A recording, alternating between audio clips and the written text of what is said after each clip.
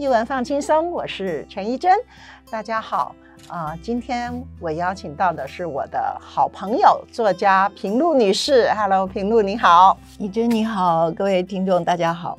好高兴又见到你啊，平露。我记得我们是二零二一年的时候，因为你得了国家文艺奖，就是以《间隙》这本跟你生病有关的书，如何度过两次得癌之间的间隙，然后呃勇敢乐观的面对。得到了这个国家文艺奖，那当然，国家文艺奖也不是只给那本书，就是给你整个的写作生涯，而且它只给会继续写作的人，所以你有真的又跟着继续写作哈。那二零二二年呢，我们在真剧场办了一个呃文学小剧，那是以你以前的一本袒露的心，哈、那个是散文集嘛，哈，很揪心的一本关于你身世的一一本散文集。我们制作了一个小剧场，然后邀请人来跟你对谈。嗯，现在在我们的 YouTube 上面，只要搜寻文学小剧都可以看到。但你更让我第惊讶的是哦，我们二零二三年刚好一年没有见面，哦。那我有时候看到脸书上，呃，有一些你跟一些朋友啊、廖玉慧啊等等吃喝玩乐的，没想到忽然之间呢，就接到了三本书哦，是关于台湾三部曲。那最新的一本呢是《梦魂之地》，等于是第三部了哦。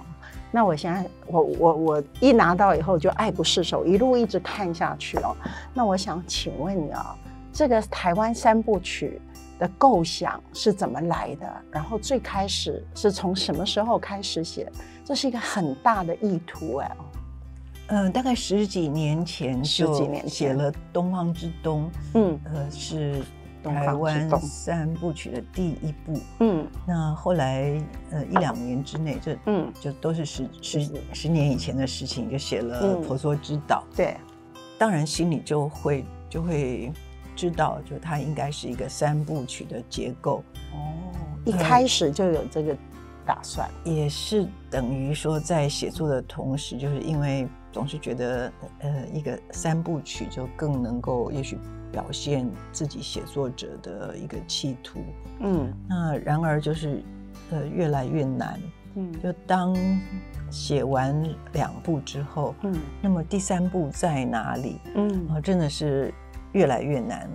因为其实这三部曲它都是独立的故事，嗯。就是甚至是完全不相关的故事。对，然而它都有埋藏一个隐形的连线，就是它其实那隐隐然相连，嗯。而隐隐然的那条应该说丝线，或者是粗一点绳索好了，嗯。怎么样把这三本书系在系在一起？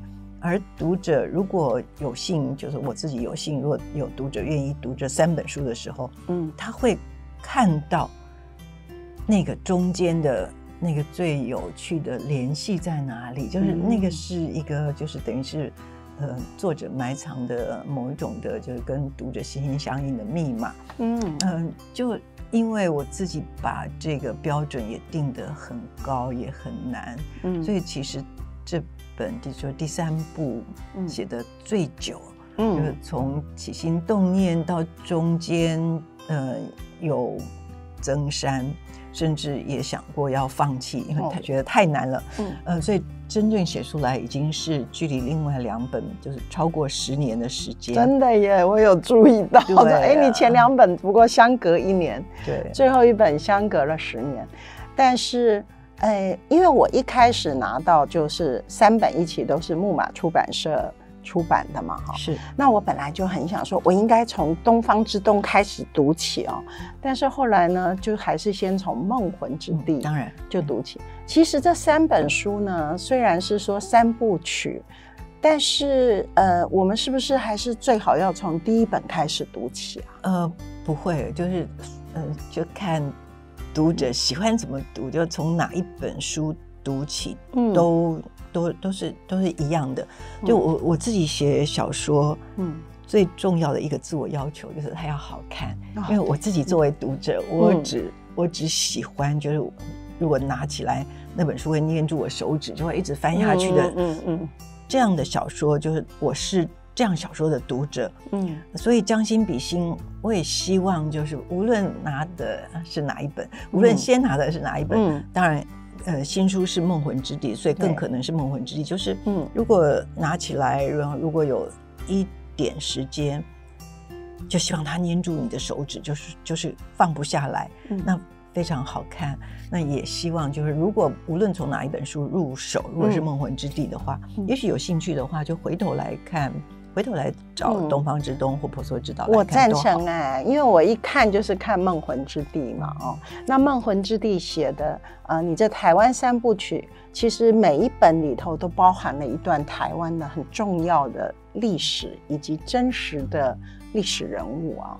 我们等一下再请你，哎，可能前两本也稍微介绍一下，但是第三本呢？就很有意思啊，讲的是通灵少女，她不是少女，是阿桑了哦，主女主角。然后书里面有包含了蒋经国先生，有这个郑成功父子，然后还有三太子哦，当然三太子哈。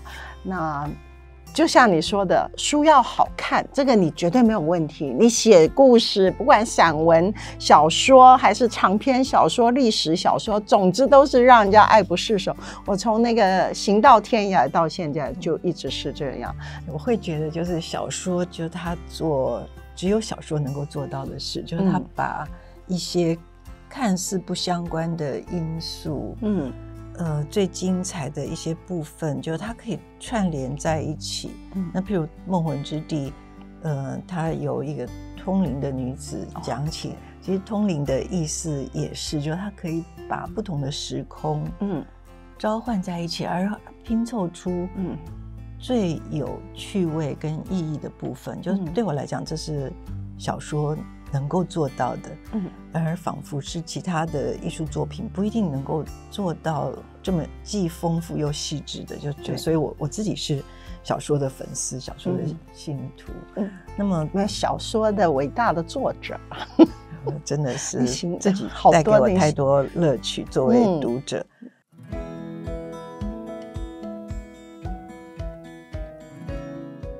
那东方之东，就是如果是嗯这样去看的话，嗯。他写的是，就是他有两条线，嗯。就多半呃，我喜欢用两条不同的线写一个写写两个看似不相关的故事。嗯哼。那东方之东写的是台商在在中国大陆嗯。呃的一些心情，跟他的妻子之间的啊，就中间有婚姻、有爱情、嗯有理解跟不理解。另外一条线是讲的是顺治皇帝，就清朝的顺治跟郑芝龙之间的那种的，就是其实是一种牵引。嗯就是当呃顺治皇帝是一个清朝入关而对海洋完全没有想象的这样的一个年轻的君主，嗯。那郑芝龙是一个看过真是五湖四海、一商一官、嗯。一道的这样的一个人物，嗯。又通晓多种的语言，嗯。嗯，所以他就是他统治他的命运是很可能，因为顺治那时候想要收复这些沿海的盗贼，是包括郑宗的儿子郑成功，嗯。所以其实呃郑郑芝龙有一个有一个使命，就是怎么样让这个年轻的君王，嗯。因为想往外面更大的世界，所以可能放过了他。嗯。哦，所以其实一直是有一个互相牵引、互相嗯。吸引，嗯。呃，可是又不知道方向在哪里的一个关系。嗯。那呃，就是另外那一半就是台商，嗯。他也碰到诱惑，然后我们的女主人公是嗯，在台湾要去寻找失踪失踪的丈夫，嗯。然后她也碰到了她跟就是她跟呃另外男子之间互相的吸引或牵引，哇。哦所以后来呃也包括到了澳门的种种种，就是它是一个，就是在我心里，它是一个从外面就是岛屿跟大陆块之间的关系的一个一一个角度去写台湾的历史，这是东方之东。哎呀，这个真的是你看啊，好几条线非常的丰富，而且就勾勒出或者是历史上对台湾跟大陆的关系，是的，是的啊，因为还有。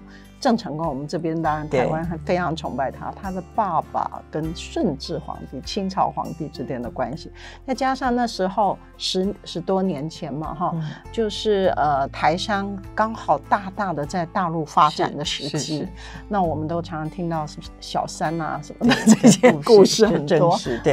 然后你这个等于丈夫失踪了，对，要去哪里找人？就跟。呃，大陆当时的公安单位啊，等等，都有一些的，都有一些重新角度去看这中间的关系。嗯，那最重要的是，就是我希望它好看。就是它虽然是讲的是一个复杂的或者互相有纠结的历史，可是它要就是故事本身要好看。你光听到郑芝龙就已经觉得非常想要去探索他，因为我们大家都知道郑芝龙是一个非常特别的人物，别的 对不对？一个海盗，一个枭雄，一个养出郑成功一个这么伟大的儿子，是哦，然后娶了个日日本女人，非常有权势，你一听就哎呀，对他很有兴趣。再加上你讲到哎，他跟顺治皇帝之间的。这个牵连哦，对，这个没有人从这个角度写过，是是。那你有没有写珍妃啊？通常人家一起讲顺治皇帝就讲珍妃嘛。那那时候大概呃，顺治跟郑芝龙确实有过，就是这个是历史中间的一个间隙，就是确实有有这样的一面窗子，嗯，就是他们有过彼此，就是真的是面对面的机会，嗯，所以就是说。对小说来讲，就是那是一个缝隙，你可以看到呃曾经有的各种的机会或可能性。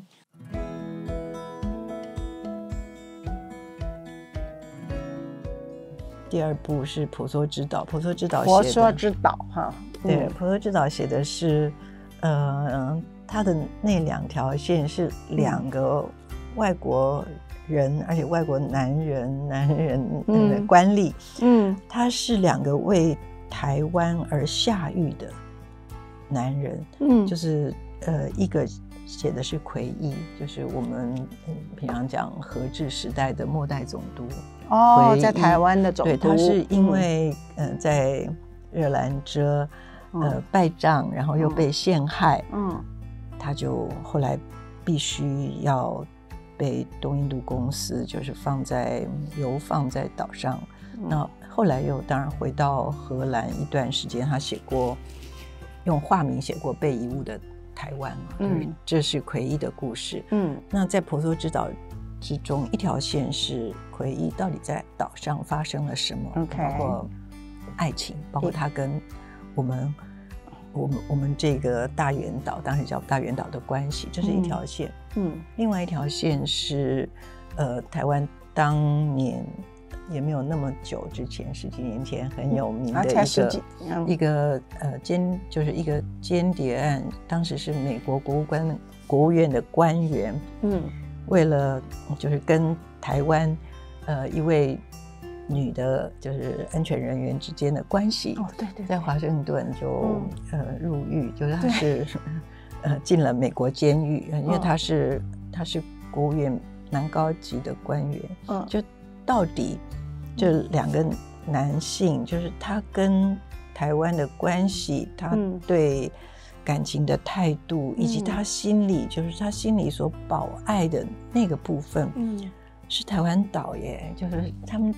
他们是真真实实为了跟台湾的，就是某种的感情，嗯，而入狱的，嗯，爱国男性，哇，所以就是从他们就是这两条线的，嗯，这种曲折的关系，而且当然有缠绵的情愫啊，去写到底我们的我们的岛屿有哪些可爱的地方，就是。而且，为什么在历史的夹缝里，嗯，常常用奎一写的那本书的话讲，常常被人遗误？就是为什么我们包括今天吧，我们处在所谓的第一岛链中间，还是要遇到很多的折难，很多的考验。就那我们在就婆娑之洋中的这个小岛，嗯，承承受的是怎么样的命运啊？这是婆所知道。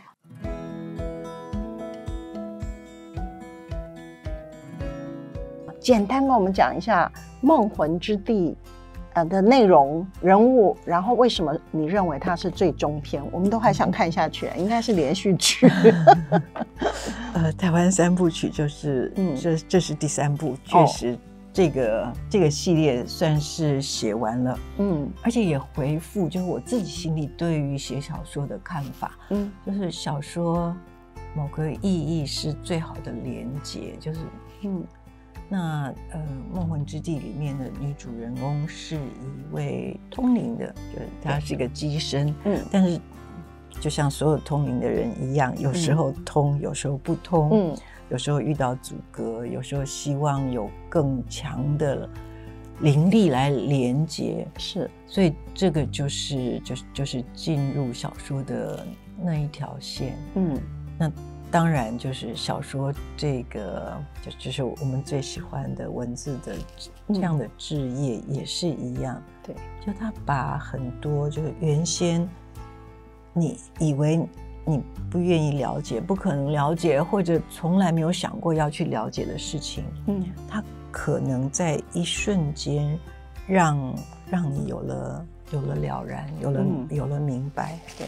那所以《梦魂之地》，嗯，当然对我来讲，也是台湾的历史，嗯。啊，有郑成功，有四百年，有大航海时代，嗯，那也有更久远的，就是为什么，譬如三太子会到台湾来，以及其他的神明，包括玄天上帝等等，嗯，就他们为什么会到会到台湾来，为什么会被信仰？嗯，所谓信仰就是英文叫 religion，religion，religion 其实也是就是连接。啊，是吗？然后 religion 就是再连接，对，其实嗯，所有的神明，无论无论各位的信仰是怎么样，嗯，就是那个连接是很重要的意义。然后我们平常讲，我们对呃历史或者我们对其他人很有。compassion，我们很有同理心。那个 come 也是一样，就是你能够接通到那个共同的部分。嗯，所以梦魂之地狱，就我自己的企图心，嗯，当然自己看自己，嗯，是很大啊。那非常希望做到，那做到没有要要请读者判断。然而那个企图心，我自己想，就是他如果能够去。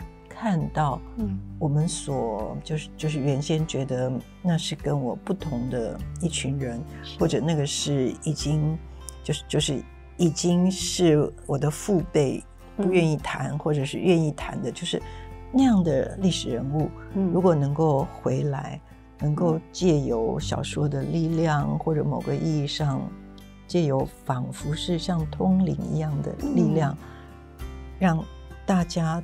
都心有所爱，让大家在那一瞬间有了比任何方式能够做的更深刻的了解。嗯，嗯，我觉得这部书哦，《梦魂之地》其实可能就是以三太子、以太子为一个主轴嘛，哈。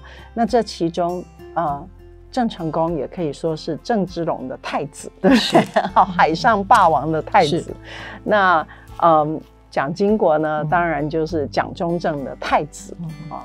那我们台湾人最信奉的三太子，其实是哪吒的化身。是，那他当然是太子，这个很明显，而且叫做三太子啊。你知道吗？我前一阵子带着我们台湾的呃京剧团哦，就是去新加坡演出《东方神奇美猴王》。对。那我们呢，一去就先去美猴王的。庙去拜拜啊，然后呃，在新加坡呢，孙悟空是一个非常可能是最受崇拜的一个神明是啊，所以他的庙是最多、最盛，而且每年还要举办那个三呃美猴王生日的大游行、大庆典哦。那我们就被带去了哈，就说哎，你们要来演出美猴王，最好先来。拜个地头神，所以呢，我们去，然后我们就认识了一位真正的孙悟空的机身啊。他每次哈很年轻啊，然后很很很有学识，也很会说话的一个男子啊。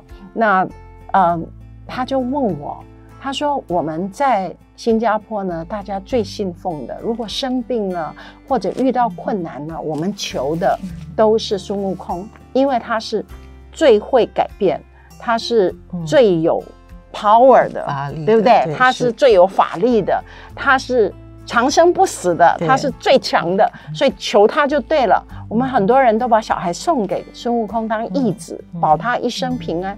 那你们台湾人为什么拜三太子？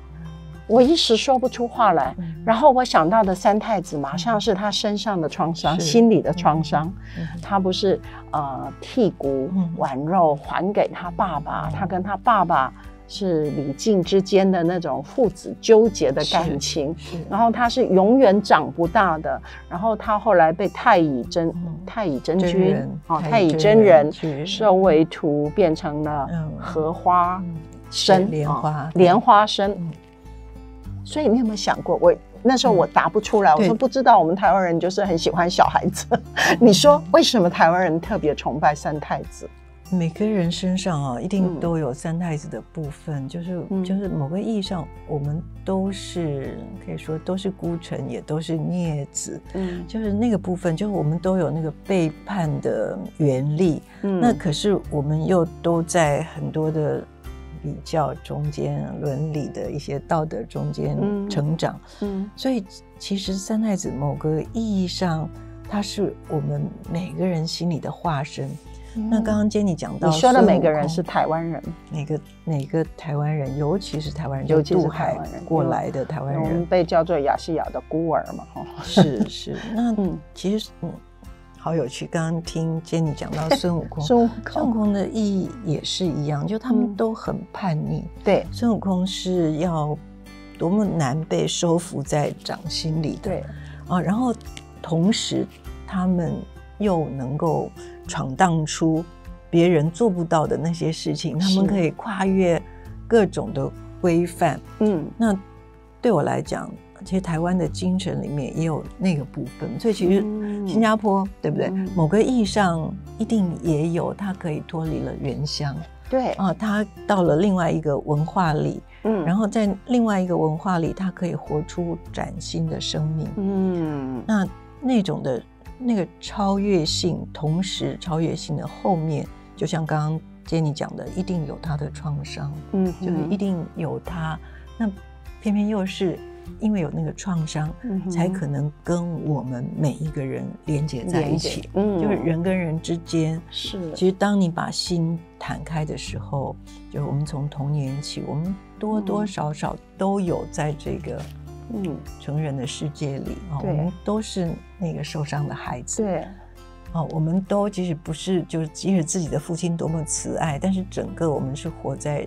那个一个高压的社会里，我们都在社会化的过程中，心里某个意义上都在淌血，就都有过疤痕。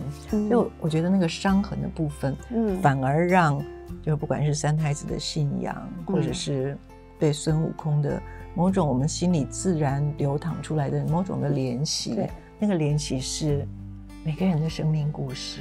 是那在这个梦魂之地里头呢，其实你用三太子。来暗喻蒋经国的身世哦，其实更复杂，更更让人揪心，因为他其实没有叛逆过，是不是？没有真正表现出来过。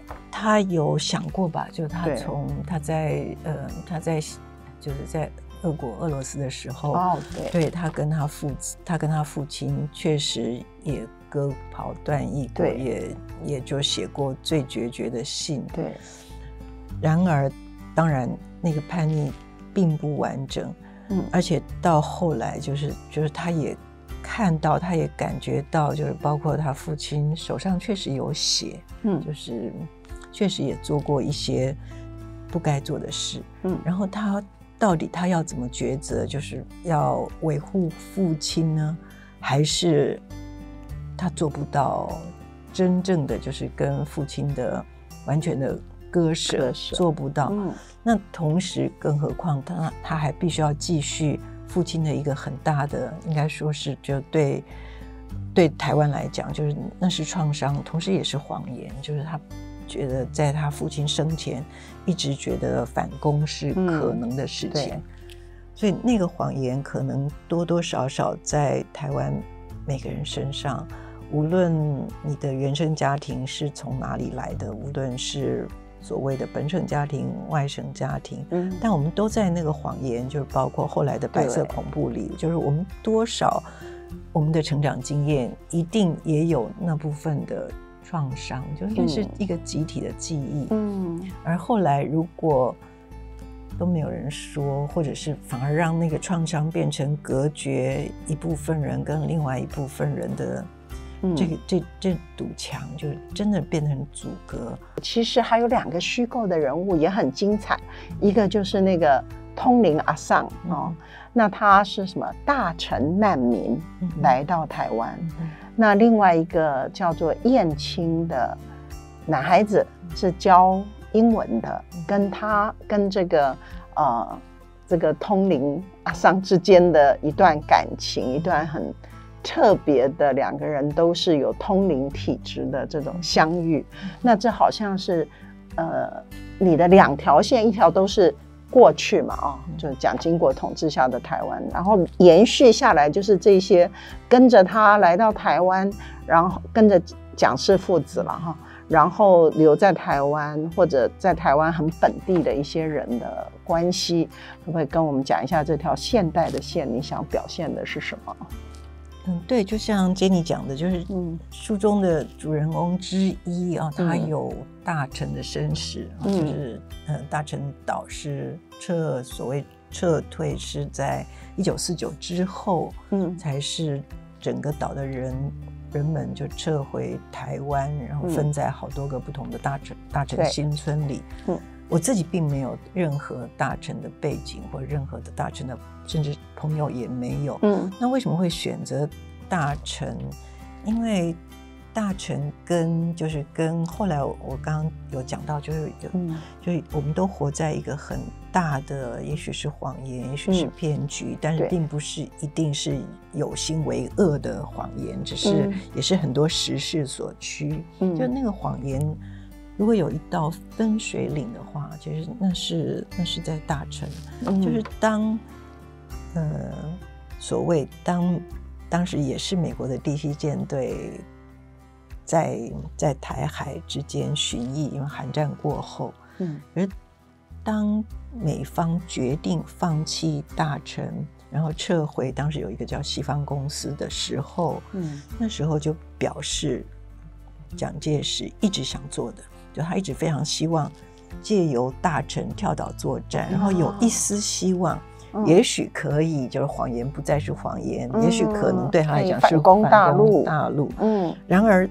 大臣保卫战之后，当时其实不是不是叫做保卫战，就是当决定这个保卫是不可能的，跳岛也是嗯。不可能的，嗯然后美方也不支持，因为美方呢当时已经决定从亚洲这一片去嗯。撤手，嗯所以呃那个分水岭之后，谎言就真正只是谎言，戳破了，而蒋经嗯国不能说。不能说，他是负责嗯。整个大陈岛撤退的那个人，哦。而且他也负责当时跟美方做接触。是，然后这个谎言对他父亲太重要了，所谓的法统也由此而来，嗯。就是你必须要因为反攻，嗯。所以当时才有呃这么多的，就是各省的国大代表啊、嗯等等啊，因为嗯你还是保持一个这个秋海棠的地图的模对样。一旦这个谎言如果失效的话，他父亲的统治基础就嗯变得可疑或可笑了。嗯所以他必须要就是一方面就是要面对，就是他其实心里并不见得那么想要欺骗的这些人民。嗯，当时还有譬如说，呃，也许有些人会记得，比如说战士授田证，就是给老兵一些田地，一些田地，在大陆，在某一省有一块很大的田地，嗯。那样的战士受田证骗了很多很多人，是很多人都以为在台湾不用制产，那所以确实是谎言叠上谎言，嗯。啊，那对蒋经国来讲，对他心里其实是很大的负担，嗯啊，然而他怎么说呢？啊，那是他的父亲，嗯，就他的叛逆要到哪里为止呢？嗯啊，其实嗯，集体。如果用集体记忆来讲，嗯，这个也是跟我们每个人相关的部分，就是我们都在那个巨大的集体记忆里面。是，那那个记忆有些部分从一开始，嗯，它就是假的。啊，这段大成的历史我倒是不是很清楚哈。原来它是一个截然的划分点，所以在梦魂之地里头用一个大臣难民的后代哦。来写，那就是又接上了那段历史。我觉得真的难怪你这个梦魂之地要花十年的功夫才能够写得出来，因为太多的历史你必须去研究、去求证，然后再想说用一个什么样的不惹人。这个厌烦的方法把它表现出来，对不对？不是太悲情的。嗯，我希望它还是最重要是好看，就是真的好看。而且你用这个通灵这件事情来串联所有的故事哦，所以。感谢你写了这个台湾三部曲，真的很棒。那我希望有更多机会呢，读者可以呃多了解这三部曲。然后，当然最快的方法就是赶快去买这三部曲回来看啊！我觉得一定让你爱不释手，跟我一样。谢谢，谢谢平路，谢谢大家。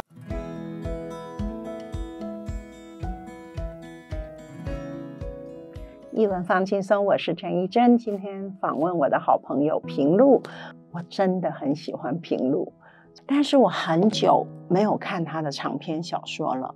那最近呢，拿到这三本啊，台湾三部曲。那我从第三部曲开始看起，《梦魂之地》，我真的看了很感动。那他用两条线，一条是。现代台湾人的一对男女，一条线呢，就是蒋经国、蒋中正父子经历的时代，跟他们父子之间的那种心结，那种像哪吒剔骨挽肉还父的那种呃父子情节哈。总之，我觉得他把这三条线都交织的非常好，然后呢。就从这当中，我们看出了一个台湾的历史，从三太子被迎到台湾，从郑成功，然后再加到加上蒋中正、蒋经国父子，一直到我们这一代，这样的一条历史的长河，在他的书写当中，用非常啊。活泼、生动、有趣的通灵的方法呢，把它串联起来，我觉得真的是很好看。希望你也有机会好好读一读我们自己台湾的历史，看一看平路的台湾三部曲。我们下个礼拜再见。